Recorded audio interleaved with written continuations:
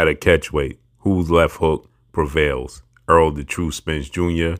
versus Saul Canelo Alvarez. Whose left hook would be more effective to see them victorious if they should fight at a catchweight in a mega super fight at AT&T Dallas Cowboy Stadium?